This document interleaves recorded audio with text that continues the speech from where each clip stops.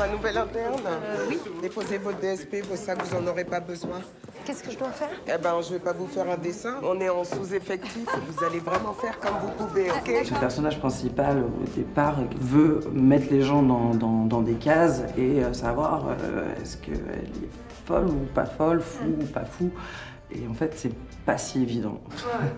On a souvent un- une image un peu faussée euh, de la psychiatrie et de l'hôpital psychiatrique avec des fous ah, complètement Ouais, dingos et tout.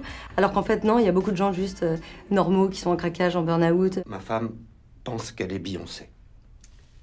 Vous voyez le problème? Oui. Hein? To the left.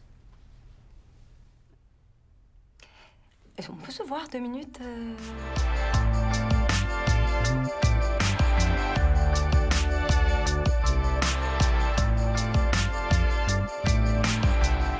Il y a un mélange de comédie et de drame, et j'avais envie de me frotter à cet univers euh, complètement paradoxal et de, et de parler de ces gens qui vivent des journées que nous on vivra jamais quoi. Effectivement, un hôpital psychiatrique, ça permet d'avoir une sorte de, de regard sur le monde avec euh, tous ces symptômes. Interroger les limites euh, de la folie. quoi. À quel moment on décide que quelqu'un euh, est fou. Entre ce qu'on a écrit et l'interprétation qu'on a fait la réalisatrice, des fois c'est pas la même chose, mais c'est vachement bien aussi. Il y a les personnages qu'on imaginait comiques, qui sont des personnages beaucoup plus dramatiques, et inversement des personnages qu'on imaginait dramatiques, qui sont devenus beaucoup plus drôles.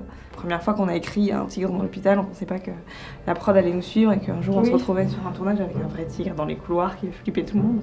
Tu sais que ton co-interne a fait livrer un tigre Non mais attends, je veux dire un vrai tigre. Ouais, il paraît, ouais.